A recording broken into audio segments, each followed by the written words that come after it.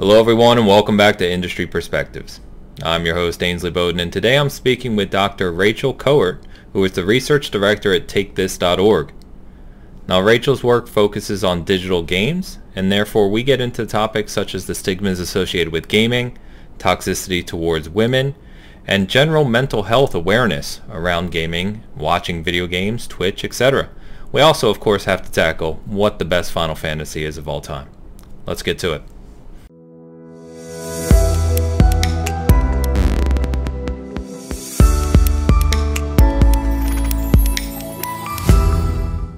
All right, and we are live with the latest industry perspectives chat with Dr. Rachel Kowert from TakeThis.org. How are you doing?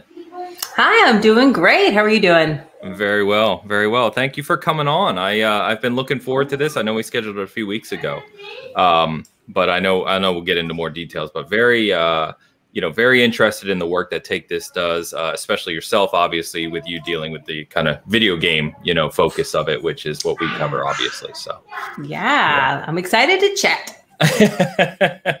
so, uh, as I always do on this, though, uh, because a lot of our audience doesn't know the guests, you know, intimately. Mm-hmm. So, uh, where I wanted to start is, you know, I find your background obviously incredibly interesting, and there's a lot to cover, which we'll go over. Um, but just going back, like in your life, um, ha- have video games played a prominent role in your life since you were young, or is this something more recent for you that's kind of, you know, been a passion? Definitely, since I was young, I okay. very clearly remember getting Super Mario Brothers, and nice. I had an older brother, so I had to watch him play um, at first. And then growing up, um, I kind of my brother kind of brought him into the house, and I did kind of follow his footsteps at first, and then it was something that we enjoyed together. And my entire all the way until I had kids, um, I played a whole lot of video games, and then and then sleep took priority, and now I play less. But yeah. yeah, I get it. I completely understand. And it's funny, you know, right out of the gate, you mentioned something something there. You had to watch him play because, you know, if you're like me who grew up in the 80s, right, and, and you had video games as kids, it really uh, kind of was that way. It was like the boys might have played Nintendo and the girls were supposed to go do something else. And uh, yeah, it's and, weird yeah. to think about now, isn't it? It is. And it was very much, there was a lot of one player games. I remember when we got uh, Teenage Mutant Ninja Turtles Arcade Edition for Christmas, and you could play with two turtles at the same time. it was like groundbreaking in my house. Yeah, yeah, I can imagine. I can imagine. so, um, let, let's talk about kind of uh, your i don't want to talk about your education per se but what led you to this so uh, obviously you have well not obviously but you have phd in psychology um, and you are yes. the research director at takethis.org um, yes but your focus is primarily and please keep me honest here but your focus is primarily on digital games and gaming yes. and some of you know many different varieties of impact that gaming can have around mental health uh, you know and, and everything that goes along with that is that right that is correct. It's it was kind of um it wasn't a straight shot my journey. I, I knew I wanted to study psychology. Sorry, yelling at my children. Be quiet. Um I knew I wanted to study psychology, and with psychology, you really need a uh, graduate degree to do anything really actually in psychology. Sure. So I went to get my master's to become a therapist. Okay. And my first day of my master's program, I thought, oh, I do not have the disposition to be a therapist. um, and that's when I, I, I stuck with the program. I had moved to California. I went to Santa Clara University for my master's, and okay. Um, as I progressed through the program, I really discovered a love for research. And I thought if I continue with this program, it will make me a better researcher because I will then have the perspective of what clinicians need and what a clinician's perspective is. Um, and, it, and I think it has really informed a lot of the work that I do. So that's kind of like the mental health base that I had. I and from you, yeah. there, I went and got a PhD. Okay, interesting. And so, what then on that journey or that path kind of did you work in other fields or, or other areas before you found take this and kind of got down the the gaming path per se? Uh, I was always on the gaming path. Um, okay. So in my master's program, you have to do therapy, obviously, because it was training yes. to be a therapist. And I was seeing multiple, multiple parents um, with concerns about their children playing World of Warcraft. So this was 2008. so like okay. height, right? Yeah. Now full disclosure, I was playing so much World of Warcraft at the time. so after about the third set of parents, I was like, oh man, like, do I need to be worried? There seems to be a lot of concern here. Yeah. Um, but game studies, game studies research wasn't really a thing. There was like two papers at a Stanford, and that was it. Right. Um, so I pivoted to research, doing game studies research for my PhD. I did a game studies postdoc um, at the University of Munster. And then would take this, it more came kind of full circle back to mental health. So with my PhD and with my postdoc, I focused mostly on the social impact of games. Uh, and then my work at Take This has taken me back to kind of the bigger perspective about psychological, social, physical, kind of the holistic uh, look at the impact of games. Wow. Yeah, that's uh, that's impressive. Um, so yeah, uh, that's yeah, don't have another word. It's impressive. oh, so thank you, thank you. It's it's been a journey. It's been you know higher education. It's it's a journey. Yes, yes. In fact, uh, no, no, no joke. Actually, my my wife just finished her. She finishes her bachelor's uh, next month.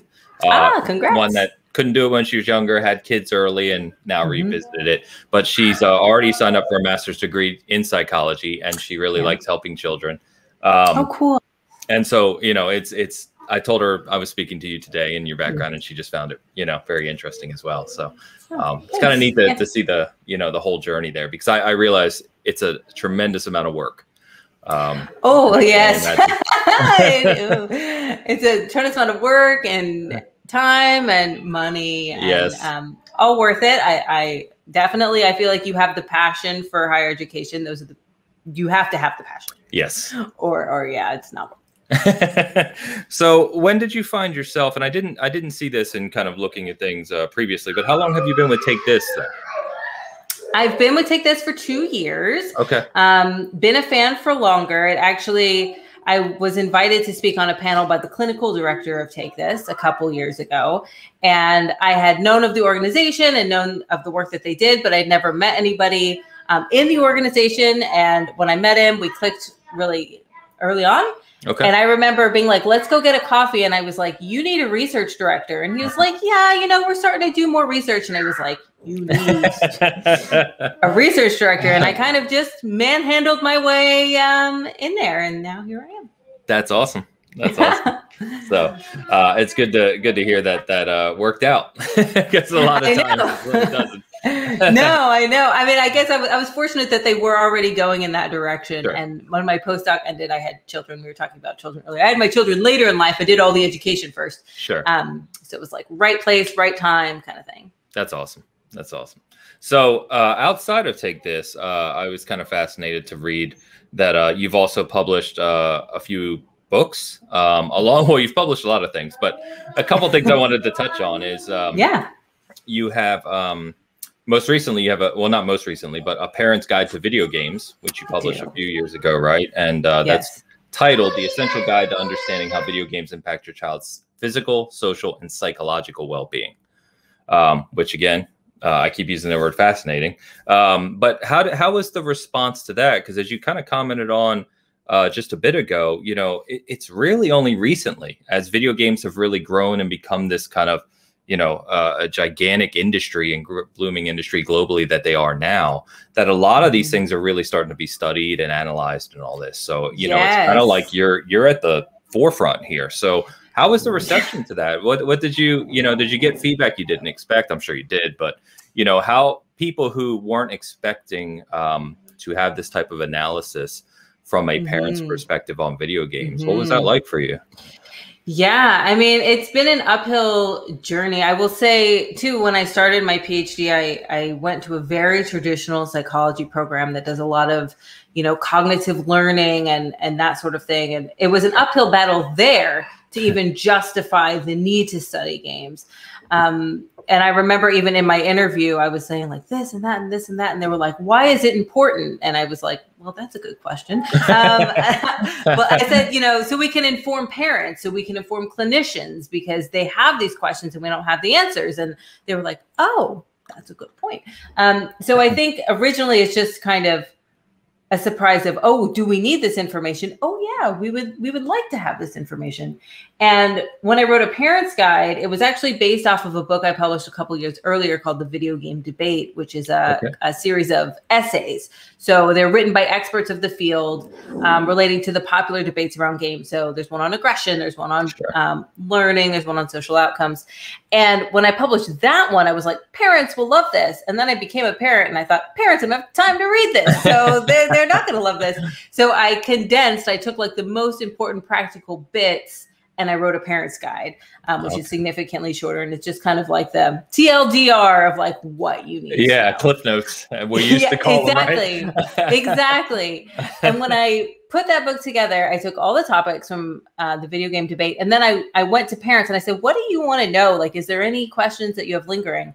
And the only different chapter in a parent's guide from video game debate is about uh, toxicity in gaming cultures. So that was a surprise to me. So parents, of course, you know, aggression, violence, addiction, they're interested in that.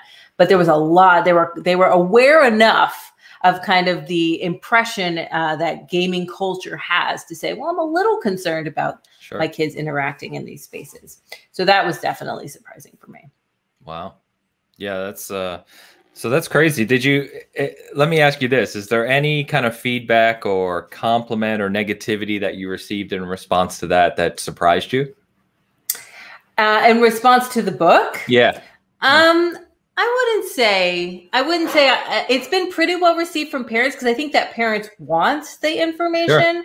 Um, even when I go and I do events now that are relatively unrelated, I went to a, a dinner, a South by Southwest dinner that was just to talk about like the future of of work. Like it wasn't even directly related to games. Sure. and there was like a line of people at the end. My child plays fortnite. Um, can i talk to you about my child? Like so they really they do have the questions. And i think they sure. just necessarily don't realize that like books like this are out there or people like me are out there to answer to answer these questions. Sure. Yeah it's just too new. It's not something everyone yeah. anyone's really thought of before.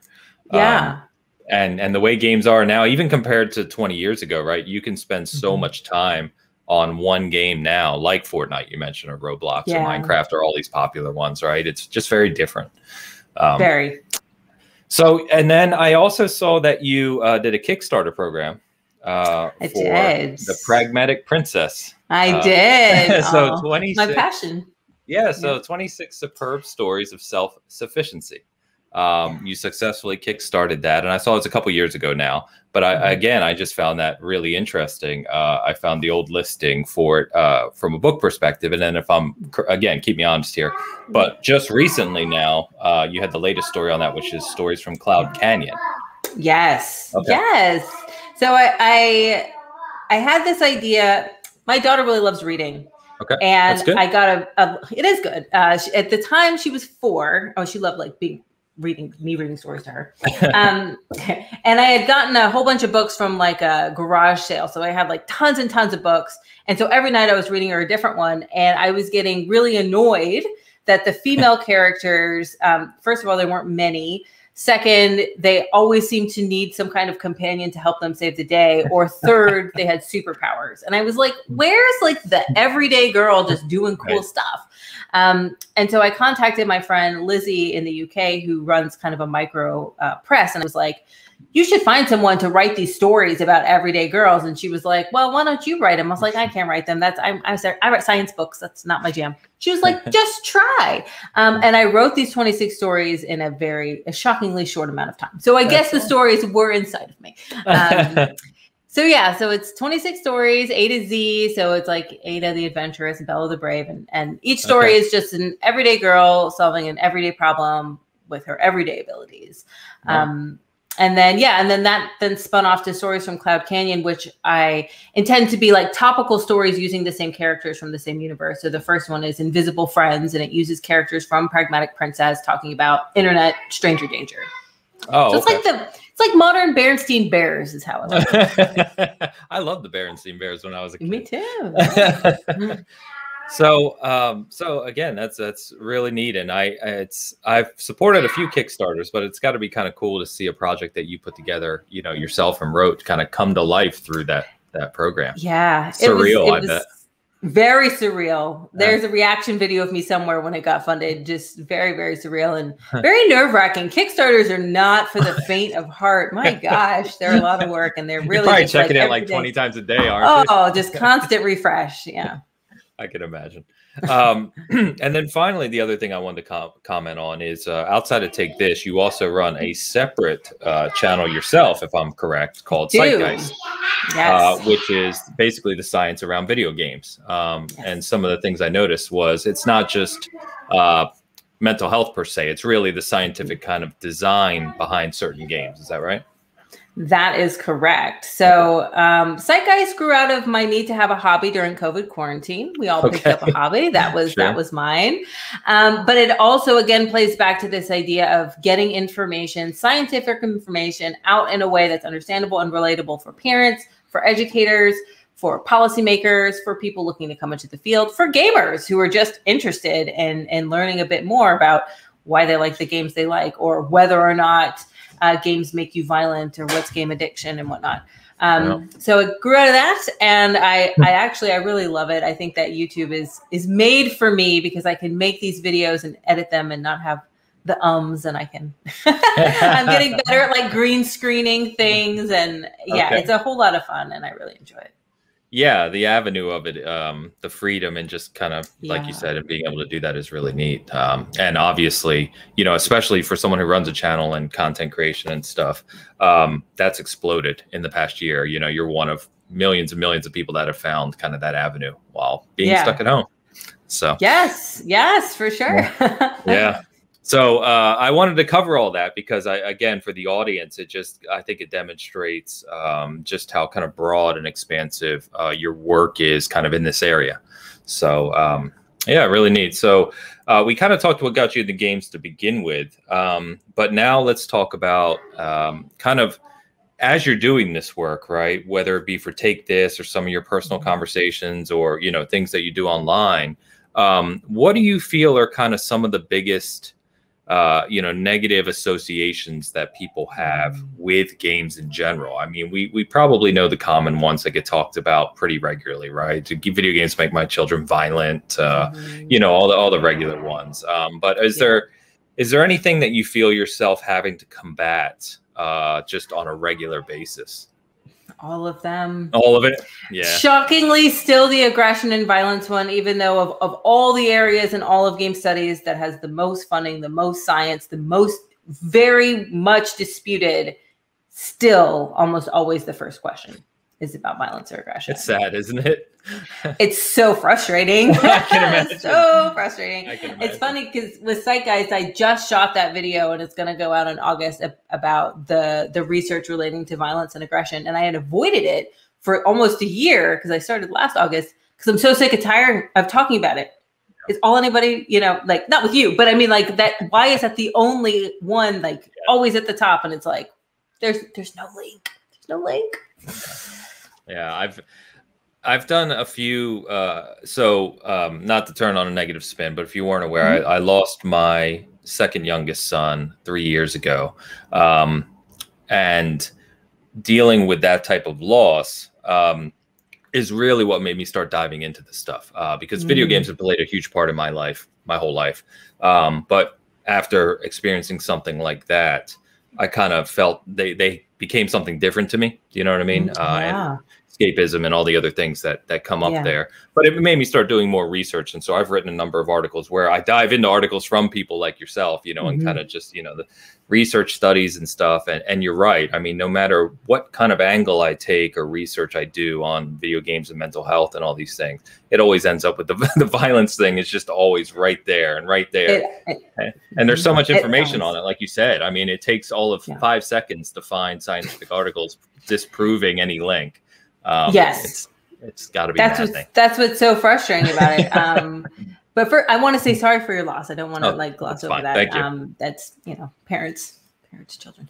Um, yes. But you bring up a very good point about games as tools for positivity, games as mechanisms to help foster and bolster mental health versus you know games uh, aggression, addiction uh, social and inadequacy, um, all the ones yeah. that usually rise to the top.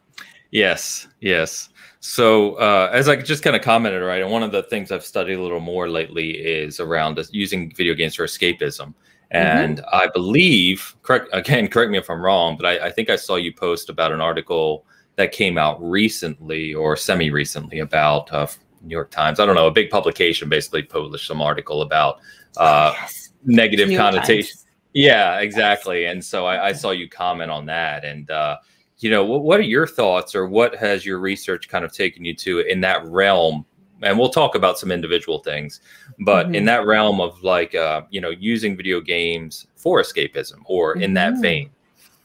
Games are tools, are always kind of the framework I like to work from. And it's funny because I I ended up doing a video on escapism specifically for Psychgeist because it seems that escapism in relation to games is always seen as something bad. Uh, my child is escaping into um, you know the world of Azeroth, and it's not dealing with bad. his own problems in the real world. Right, real world, right? He's avoiding things. He's yeah. uh, he has virtual friends. Okay, fine, but you know I binge watch The Witcher, and that's fine. Oh, my wife is escaping with Henry Cavill or whatever it is. Um, but that's not seen as negative or a book, right? I have lots of books, lots of books that I like reading, and if I spend four hours reading a book at night, oh, good, oh, good, good yeah. for her. Yeah, good. Thing but if I read, spend yeah yeah, if I spend four hours in World of Warcraft, ooh, something's wrong with her. Um, but you know, it's a tool. Escapism is not inherently a bad thing. We all need it um, for stress release and mood management, all that stuff. Yeah. And games are great for it. Yeah, yeah. Um, no, obviously, you know, I completely agree, and I mm-hmm. always do find the kind of hypocrisy in the statements around uh, yes. how video games are used versus TV and movies and books yes. and music Absolutely. and everything that yeah. people have used for generations over and over, right? Um, exactly. And yeah. you know, when they were popular, that was a problem too, right? Rock and roll problem, movies problem. So we're just yeah. we're just the latest in the cycle. You know? see how long it takes to get past it. We'll see. Yeah, when VR becomes cheaper, then then oh, VR is the problem. Not, yeah, yeah. yeah so, you know, probably. tell us that it's going to be like uh, what's the movie? You know, Ready Player One, where everyone just kind of yeah, lives in the secondary world.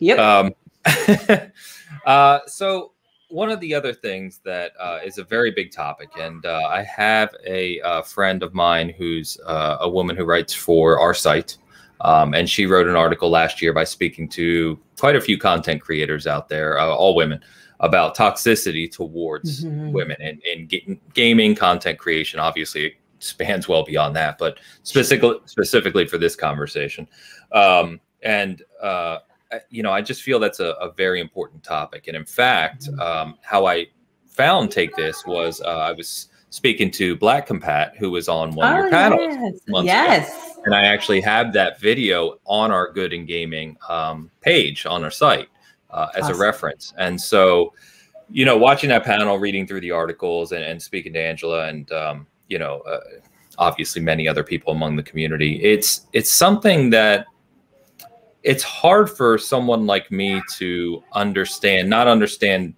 obviously all the negatives and, and the reality of it, mm-hmm. right? But understand where uh, guys come from or people come from mm-hmm. in that area because it's just so foreign to me. Mm-hmm. Um, but it, it's it's a real, real problem. And yeah, you know, I, I just I don't know. I don't know where I'm going with a question here, but I guess my question would be, you know, from your perspective, obviously it's something you've talked about you know mm-hmm. it's a big topic in gaming right now in the gaming community uh, esports even too mm-hmm. and um, you know what are your thoughts around that you know what what causes that or what's uh you know what can people do about it I just any open thoughts around that entire yeah. kind of huge topic it is so. a big topic. um, it's the area that I'm getting into recently, though. Um, okay. That's kind of where my my area of research is focusing. So I'm, I'm okay. happy to talk about it. But it is uh, a big open question.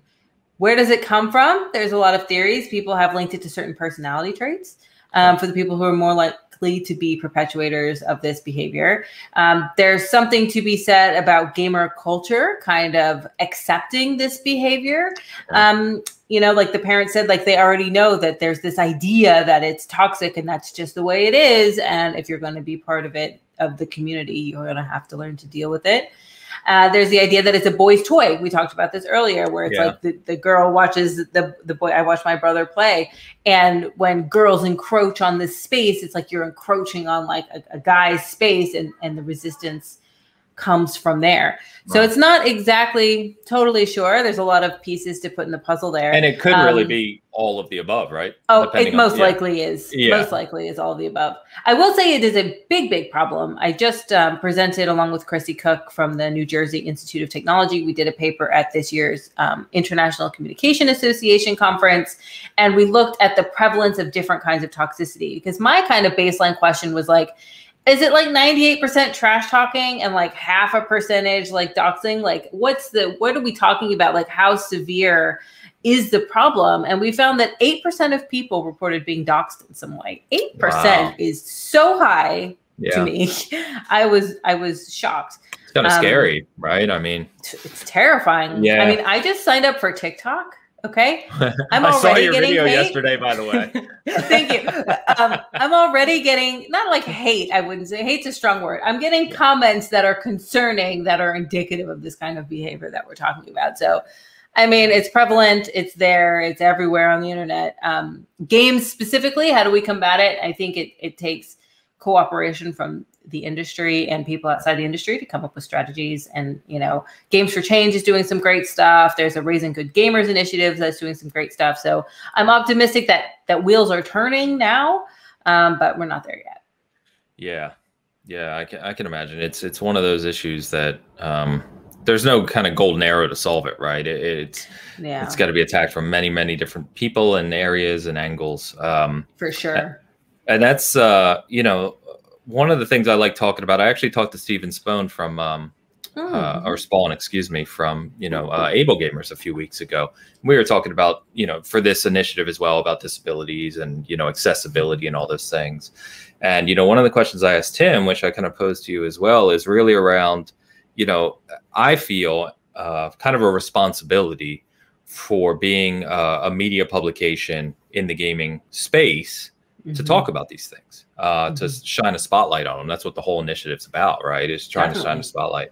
And um, I, I don't know about you because I'm sure you kind of look at this through a different or a, a, a, certainly a a different lens than I do. You know, you're probably seeing it in a different way than I do. But when I look across kind of the, the major publications, obviously we're not a major publication, but it, it feels like um, there's not enough focus on it. It's too little. Uh, not enough people talk about it or really kind of tackle this from a serious manner. Um, you know, and I, I, I don't know your thoughts as you look across, you know, all you see on YouTube or you see on mm-hmm. social media and Twitter and the gaming community. Um, you know, do you feel there's kind of a lack of, um, man, sorry, my brain today, a lack of, uh, you know, a lack of focus, I guess you could say, from some of the larger outlets and and people on on you know talking about these things openly. Yeah, yeah, for sure. I mean, yeah, thinking back at like what I've seen in terms of of getting a lot of kind of focus on it, the Anti Defamation League is doing some fantastic work, uh, and that is spurning some change and some discussions. And Raising Good Gamers Initiative, as I mentioned before, um, from the Fair Play Alliance, yeah. Um, is is bringing attention, more attention. And there was one really good Wired piece like six months okay. ago. But other than that, there was one. there was one. Other than that, there's not much I can think of because you have front page of the New York Times, you know, printing, you know, just antiquated, stereotypical game yeah. stuff, and that tends to be, you know, where the media's mind is when it comes to covering things in games instead of things like this. Yeah, and it's you know, it, it feels, and I, I kind of rant about this all the time, but it feels purposely inflammatory, right? Um, they, yeah. they know what's going to get the attention they're just yeah. doing it with hits, and it's, it's frustrating. It's, yeah, and it's it's hard to combat to that point because you know that as soon as they publish that, it's got millions and millions of eyes on it. Whereas you know this uh, research paper that may be published on a few outlets has hundreds of eyes. I don't have millions of eyes on my work. I mean, I did rant pretty hard about that New York Times article, and I got maybe thousands of eyes, which is which is good. But yeah, yeah it's it's it's frustrating. And when I found out that that was printed on the front page of the New York Times, I was even more just like mind boggled. Yeah,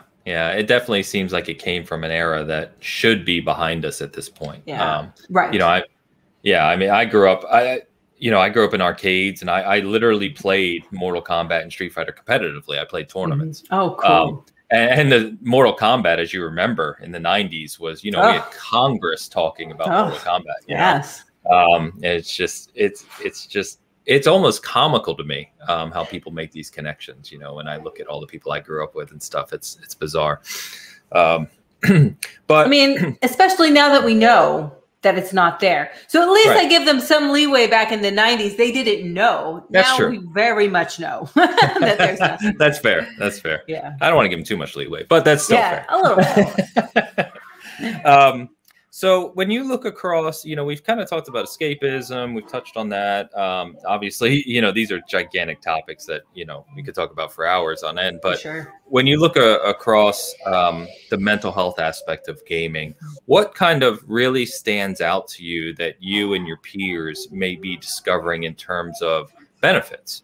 Um, one of the things uh, one of the articles that has been viewed the most by me that I wrote was after my son passed. I wrote an article called "The Good in Gaming," um, really about. Uh, we always focus on the negatives, or you know, a lot of media mm. focus on the negatives. We need to focus mm-hmm. on the mm-hmm. positives. And what mm-hmm. I highlighted was charitable causes. You know, the extra life, Sable Gamers, all those. Mm-hmm. Uh, the benefits, escapism. We already touched on. Uh, you know, the charity work in hospitals and uh, yes. helping people with disabilities. You know, all of these things, right? So I think there, there's an awful lot there that we can um, spotlight from a positive perspective, which is what I prefer to do. So, mm-hmm. you and your peers, as you you know, kind of think across the spectrum, um, yeah. what what's more recent, um, more recently surprising you guys around some of the uh, positive benefits that you're finding from gaming? Well, for me, it's always about uh, the social benefits. I guess that goes back to kind of my PhD work and my and my postdoc work. And recently, there's been an uptick in discussion about how even one player games are social because we form these social relationships with the characters that we play the okay. games with. Uh, we call them parasocial relationships, but they have very tangible social benefits to them. Like we know they're not like real. We know our Animal Crossing neighbors aren't real, but the sense of camaraderie or the reduction in a sense of loneliness uh, and the emotional connections are very much real. And that's been fantastic during COVID quarantine when people can't see their friends and, and aren't necessarily playing together. So that's been kind of a big kind of aha moment for me in the last maybe six, eight wow. months is is thinking about games as social even when you're not necessarily playing immediately with somebody next to you. Um, and also I think getting back to basics, games are playful and play is great for all ages. Like people think that, you know, only kids should play. Adults need to play too. And sure. it's and it's really good for your mental health and stress release. And it's associated with the release of endorphins. And, you know, we should all be playing more. Wow. Oh, I'm not going to argue with you there. Uh, but the, the parasocial thing is very interesting. I, I haven't mm-hmm. read anything in that regard yet. But, um, you know, as oh, you were. Wait, let me tell you. Please. Let me tell you a story. Please. There's this great research study. Since since now I know you haven't heard of it, I always talk about this research study when okay. I talk about parasocial relationships because it's my I did it's not mine, but it's my favorite work of like the last 10 years. Um, have you seen Game of Thrones? Yes. Have you seen all of the Game of Thrones? Is yes. Okay. Spoiler: if those listening have not, yeah. Right, some spoilers are coming. Um, so there was a research study by uh, Daniel and Westerman, and they looked at Twitter responses and the sentiments that were expressed on Twitter after Jon Snow died. Okay. And what they found is it could map exactly in the same ways that we um, grieve and express grief for people that we know and love. So, like the seven stages of grief, sure. like anger, bargaining, whatever. Yeah. It's, it was the same. Jon Snow is not real, right? But if you remember, I was very upset um, when Jon Snow died. Uh, but it goes to show these relationships, they're parasocial. They're one way. We are putting our emotions on this character. You know, Kit yes. Harington doesn't know who I am. Jon Snow isn't real. Um, and the same can be said about, you know, how we feel when our, our characters in Final Fantasy die or, you know, whatever, our, how we feel when we see our favorite neighbor in Animal Crossing. Yeah, I was going to say for me, Last of Us 2 was that way. Um, right you know, spo- again, spoilers, but uh, yeah, yeah I uh, that game got under my collar. Yes, yes. for that reason. Yes. Yeah. You're uh, connected. Uh, wow, that's really cool. Uh, you'll have to. You can DM me because I, I, would like to read that actually. So it's um, great. I will. Okay, yeah, I'll, I'll, definitely check that out. But no, that's interesting because as you, it's funny you make that connection and brought that up because as you were saying that, my mind started thinking about characters that I know and love and kind of associate with, and and there is right, and and I don't think that's any different. Again, correct me if I'm wrong, but um, it would the parallels there to uh, other things we know and love, like books, right? When you're reading a mm-hmm. book and you're invested over weeks of reading a book and a character you come to, you know, imagine and interpret, mm-hmm. uh, and some a tragedy happens that takes them away. You, I would ex- assume it's the same type of experience, right? Yes. Exactly. Yes. And and actually the term parasocial relationship was coined to refer how people feel towards their favorite newscasters uh, which is funny. You know, we all have a favorite news channel. Um, but it's since been expanded. So yeah, exactly. To explain just the one way emotional sentiments that we that we connect. We have these connections with yeah. You know, yeah. Frodo and and Jon Snow and hmm. you know. And really anyone. Yeah. I mean, I, people yeah. know me and I'm sure somewhere behind me there's something, but you know, I'm a Halo fanatic and one of the ongoing oh. jokes in the Halo community is Master Chief's going to die at some point, and you know, yeah, immediately, see? it's like the thought of it is like that can't happen. You know, like well, exactly, no. exactly. Certainly not real. Um, yeah, that's that's really cool. So thank you for sharing that. Um, so anything else, kind of on the broad spectrum of what we're talking about here, that you feel is is kind of this is a loaded question. I realize I was going to say noteworthy, and I'm sure there's a million things, but you know, anything else that you, you want to kind of comment at while we're on that topic of just mental health uh, aspects of video games? Yeah, I think it's important to. I want to point out the uniqueness of games. So a lot of times sure. I talk about social connections on games, and people are like, yeah, you know, but social media, you have social connections too, and what's inherently different about games is that they are these playful spaces and they allow us to connect by having shared experiences. And even if I'm not, if I, I don't play Halo and I'm an Xbox, but if I played Halo and you love Halo, we could also connect over those shared experiences, even yeah. though they were experienced separately. Um, so it really does provide like cultural capital uh, for generations um, of people to engage and interact with and, and have these these shared experiences and it, and it's magic. It's magic, to be honest. I mean, video games are a billion dollar industry. Everybody's playing them, and they give us the opportunity to have these shared stories and these shared experiences um, in a playful, accessible space. So they shouldn't be discounted. It, it, reminds me, my neighbor. I have a wonderful neighbor who I love and adore, and I always bring her up. And I'm sorry, you know, I love you, neighbor. Um, but she has a 12 year old son, and she's always coming to me very concerned, especially of last year He's playing too many video games. Sure. He's home too much. School is, you know, he's in quarantine. He's playing too many video games. And I'm like, what is he playing? And she's like, Minecraft. And I'm like, that is the best possible thing your yeah. son could be doing right now. Um, right. Oh, and he's playing with his friends. That's excellent. Yeah. Um, so it's just about getting the information out there that, of course, screen should not be everything that you do. Of course, of course yeah. video games should not be the only thing that you do. There's, you know, eye strain and posture and sedentary lifestyle and lots of concerns. But um, there's a lot of good to be had. Yeah. Minecraft, especially. especially. Yeah, no doubt. Uh, I used to my son's growing. I mean that it, Minecraft was so big in our house, uh, and it was played so often that I actually had to tell him I bought him headsets because I was so tired of hearing the song from the world Oh, it that's was just so funny. 24 hours a day, every day. Yeah. And after a while, I was like, I can't hear it anymore. It's just too much. Yeah. My six year old loves Minecraft. She plays, we got a little private server with her neighborhood friends. Minecraft that's awesome. fantastic. Yeah. yeah. yeah.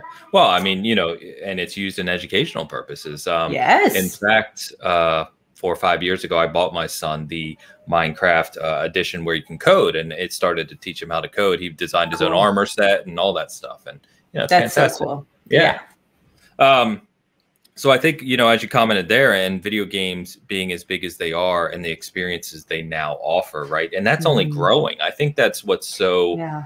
interesting to me is that when you look at the experiences you can have through gaming now versus even 10 years ago, especially yeah. 20, 30 years ago, um, it, it's night and day. And and the industry you know that, that it's just going to continue to expound right so i think the possibilities there for how we experience things um, is very you know it's just exponential it's yeah exactly thank you yeah um, i mean we haven't even talked about twitch No, watching other people play video games. yes. I mean, that has been that has also exploded over the last year. Yes, the amount of people who are streaming, the amount of people who are watching.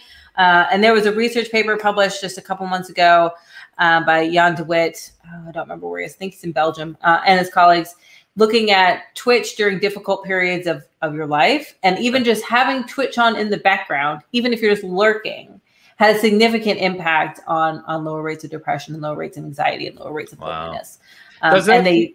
I'm sorry. Hmm? Go ahead, please finish. I was going to say they were. They say they hypothesized that it being around video games was significant. It wasn't just about having somebody live although that was that was part of it but it was about having the shared experience of games that's exactly what i was just going to ask you because yeah. um, no joke uh, last year uh, there's a popular uh, world of tanks streamer i follow um, and last year when we first came home i found myself working here at my desk but i would kind of have him up you know all the mm-hmm. time because he plays he, that's what he does for his you know he's huge um, but what I found is exactly that. I was going to ask you, you were just talking about the benefits of shared experience. And yeah. it just feels like even if you're not really paying attention to every detail that's happening in the game, it feels like there's a community you're joined with, mm-hmm. you know, right Absolutely. there that's live, right? And that you're there yeah. even if you're not really there.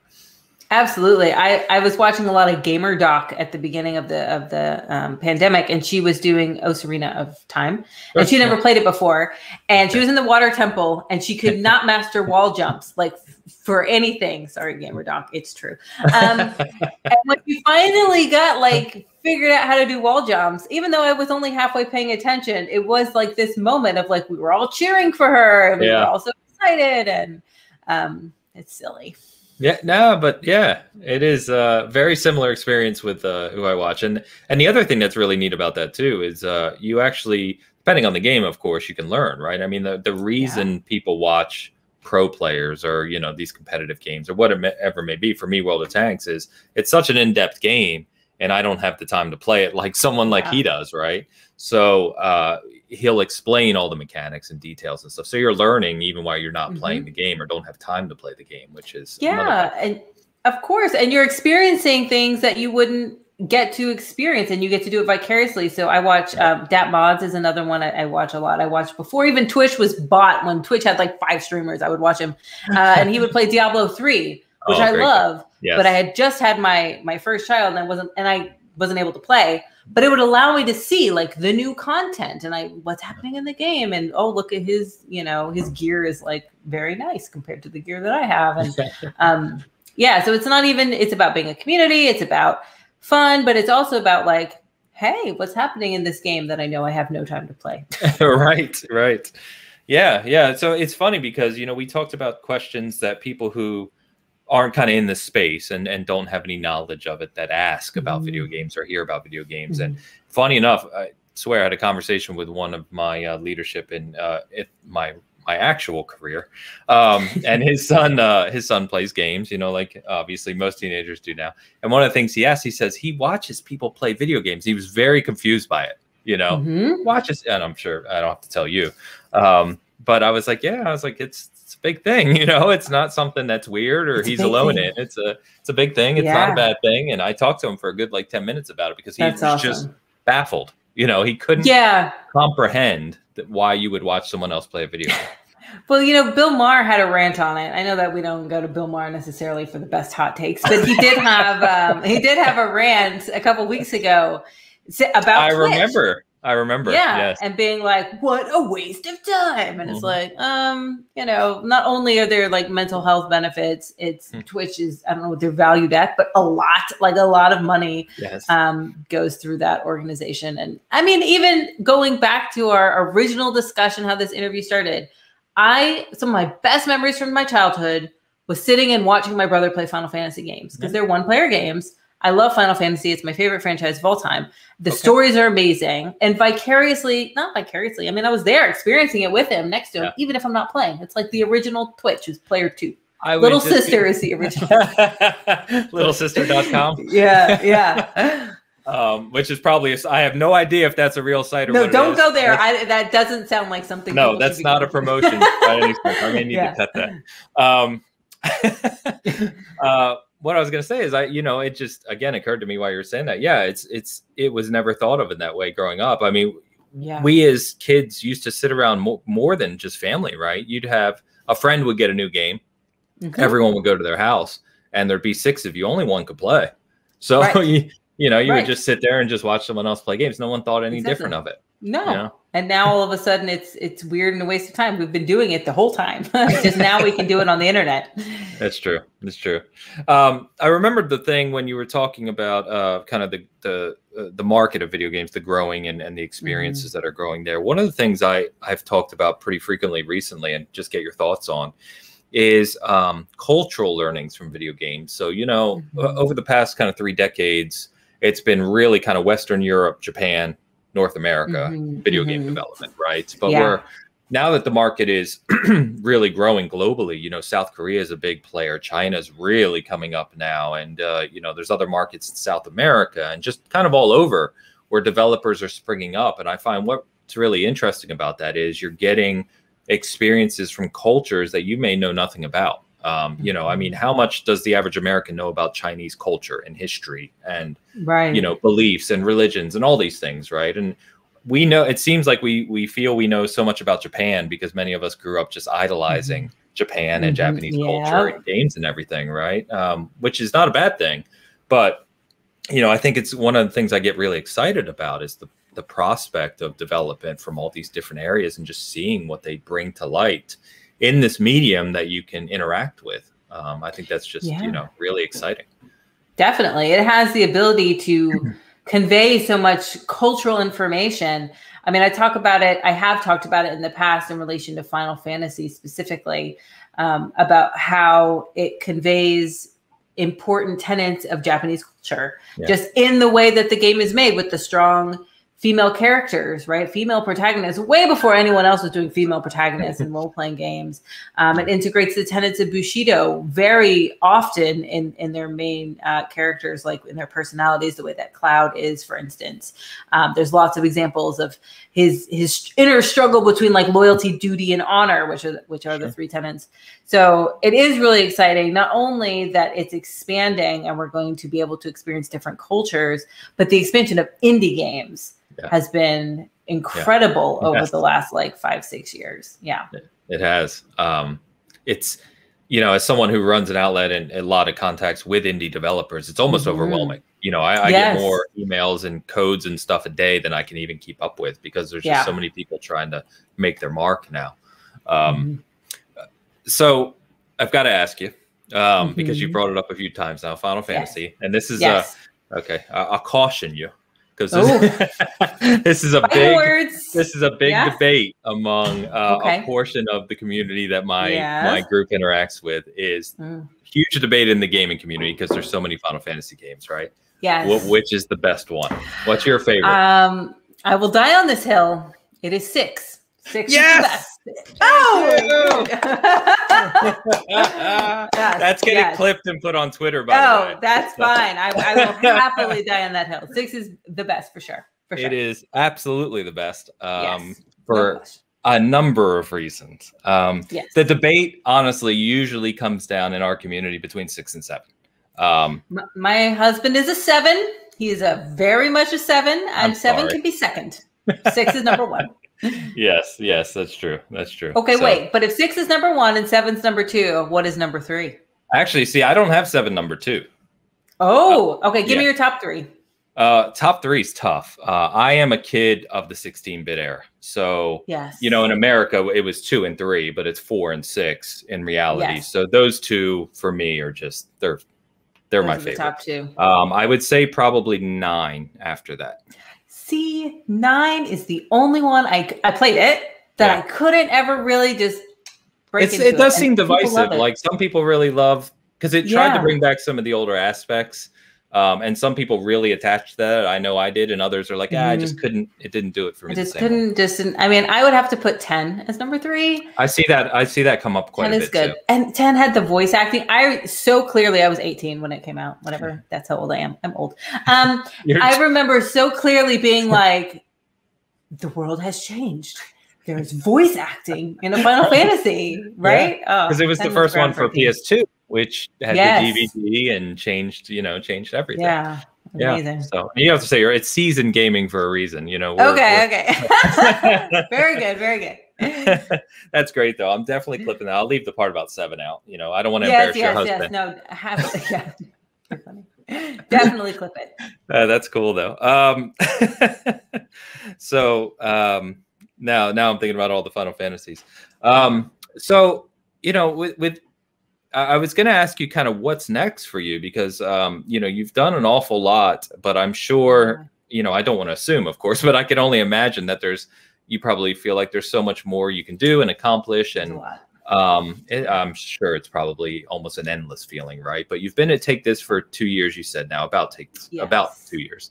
Um, you know, what are you looking forward to? Do you have anything kind of projects or anything big you're working on now, or what are you looking forward to doing over the next, you know, six, 12, 18 months?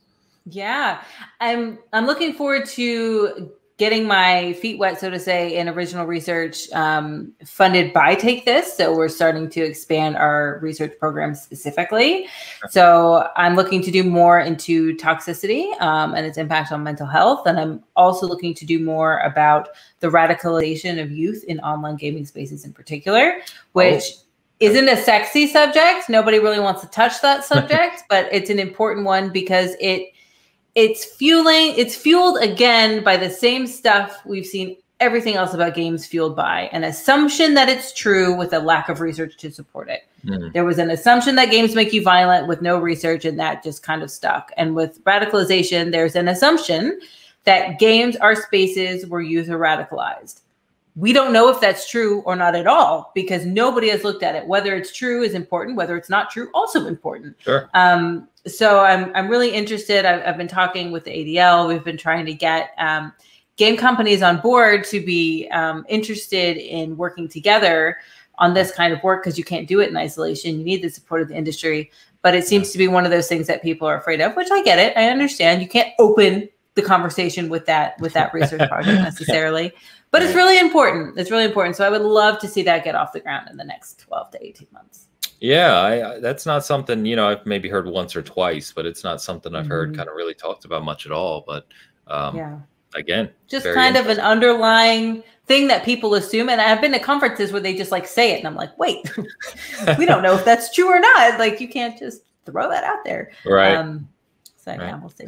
Fingers so crossed. let me ask you this too. Then, um, you know, as from an organizational standpoint, and take this, uh, and you mm-hmm. representing the gaming side of it. Do you guys? Um, is there anything you do for like specific major conferences? Right? Do you deal with the PAXs? Mm-hmm. Do you deal with the E3? We do. Okay. All right. Yes. Because now that one of the things you know my group hated, we had huge plans for E3 last year. Obviously, this got canceled, yeah. and you know we're looking forward to getting back to PAX and E3 and those things. Yes. So um, yeah, that'll be cool. So what do you what yeah, do you guys like, typically do there? Just awareness? Uh, awareness, and um, our flagship program is called the AFK Room, uh, which is a quiet, uh, professionally staffed space in the conference hall. So you go to PAX's, the floor is chaos, um, yes. and you want a place to just kind of take a deep breath and relax. And and PAX gives us these spaces every year, and we staff them with um, licensed clinicians. It's not a place you go for therapy, but it's a place you can go for support. And we have coloring books, and it's quiet, and we have bean bags and um, that was really our, our flagship program. We have since moved out more into education and advocacy. We still, of course, will run the AFK room when um, these conferences return, but that's probably what we're most well known for.